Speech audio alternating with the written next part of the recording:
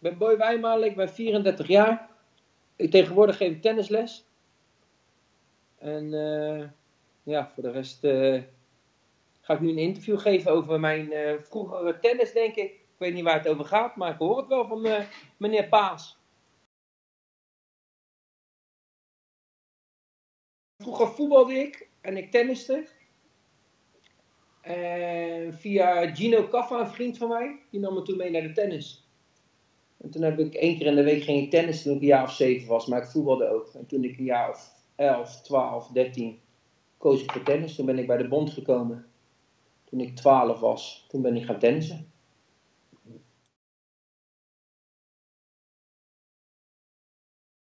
Dat is op papier denk ik eh Chonga.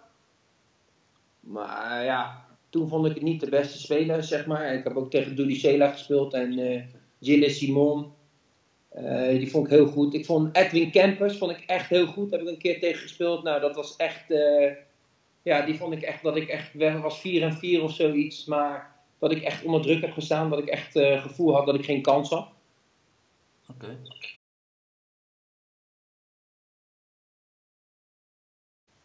Ja, tennis van Nederland op dit moment. Ja, dat spreekt voor zich, denk ik.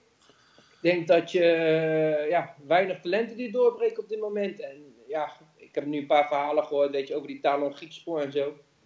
Maar ja, die zie ik ook niet echt doorbreken. Ja, zelfs als ik. eh, ik, ik kan een keer winnen van Robin Haase, maar ja, dan eh, ben je er nog niet. Nee, dat klopt. Wat denk je Ik de ken- reden van is dan?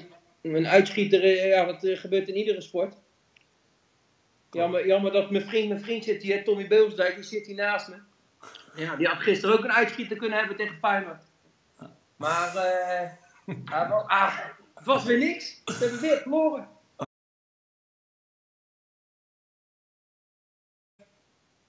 Ja, niet echt bijzonder nu toch? Wat denk je dat de reden daarvan is dan? Eh, slechte trainingen, slechte trainers of eh, instelling of... eh, Ik denk dat er op dit moment gewoon te veel, te veel tennisscholen zijn die echt specifiek met de goede jeugd bezig, met die goede jeugd bezig is, denk ik. Dus Ja, er moeten minder tennisscholen komen die meer kwaliteit leveren of wat? Dat denk ik. Ze denken ook allemaal aan, aan de poen, denk ik. En eh, ja, logisch, we moeten eten ook. Maar ja, het is gewoon, eh, Iets meer tennis. ja, Ja. Ja, ja, jij weet beter te vertellen dan ik. Ik ja, ben er niet zo mee bezig. Ik heb gewoon twee talentjes waar ik mee werk en dat eh, vind ik geweldig. Top. En een paar recreanten. En ik, voor de rest is het niet echt mijn, mijn ding, een hele Ja. tennisschool natuurlijk.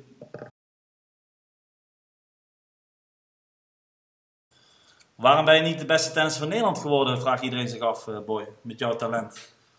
Omdat ik denk dat er meer dingen bij komen kijken dan alleen talent. Het is niet alleen talent als jij eh, ver wil schoppen in de tennis. En dat is denk ik met elke sport. Je moet eh, inzet hebben, iedere dag 100% eh ervoor staan, ervoor geven. Iedere dag ja, alles eruit halen wat erin zit. Daarentegen moet je ook eh, ja, meerdere dingen. Mentaal eh, aspect heb je. Je hebt eh, het reizen, het alleen zijn, wat je moet kunnen. Ja, alles. Het is niet alleen tennis natuurlijk. Ja, als het alleen tennis zou zijn, dan zou ik misschien hoger geëindigd zijn dan ik nu ben geëindigd.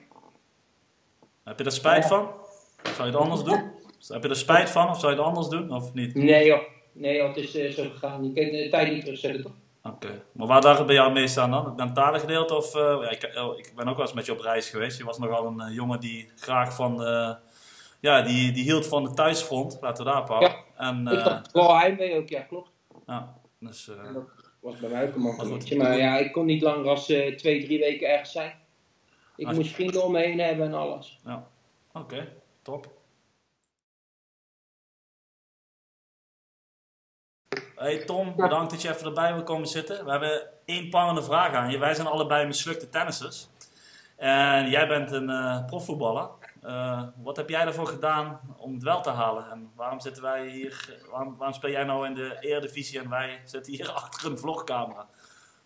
Ja, kijk, eh, wat, wat Boy zegt, er komt meer kijken dan eh, talent. En het is belangrijk om, om elke dag ervoor te geven, maar dat is ook heel lastig. En dat heb ik ook niet altijd gedaan hoor. Dus eh, ja, eh, moeilijk te zeggen.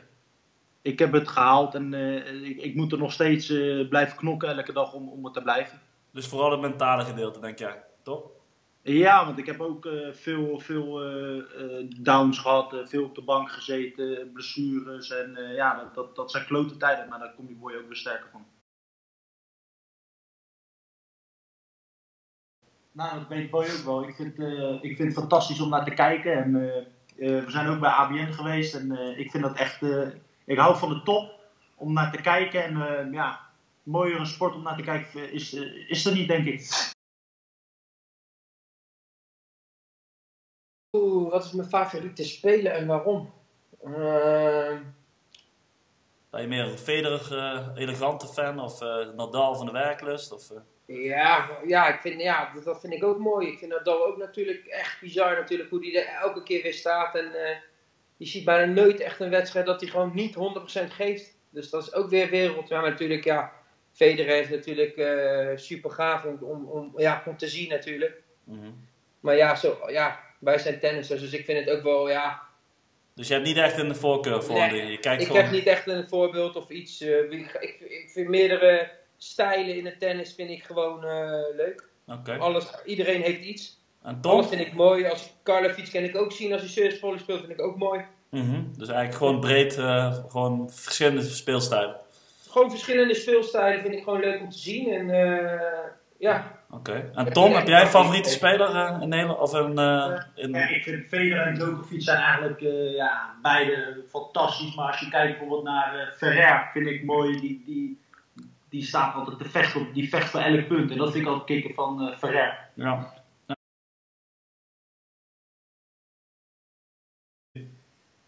Ja, wat, wat, welke vraag uh, zou dan? Wat wilde hij graag weten? Of je een Duitser in Iran, Iran op met opzet in zijn knie hebt geschoten met paintballen, of dat klopt? Nou, dat klopt niet. Ik was met, Iran, met uh, Ordaan in, uh, in Iran. Ja, dat weet, dat weet hij vast nog wel. Zaten we in de lounge samen.